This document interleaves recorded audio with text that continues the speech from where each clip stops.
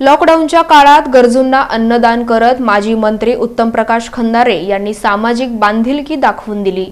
लॉकडाऊनच्या काळात सामाजिक बांधिलकी जोपासत दररोज गरजूंना शिधा वाटप करण्याचा निर्णय घेतल्याची माहिती माजी मंत्री उत्तम प्रकाश खंदारे यांनी दिली. आणि तो प्रत्येक नागरिकांनी प्रत्येक जबाबदार व्यक्तींनी प्रत्येकाने आपल्याला अंतकरणपूर्वक त्या धर्माचं पालन करणं अत्यंत गरजेचं आहे. मूळ आणि मूळ हीच सामाजिक जाणीव आणि भावना घेऊन आज लोकांच्या आशीर्वादानं समोर आलेल्या कार्यकर्ता या नात्यानं मी एक शिवसैनिक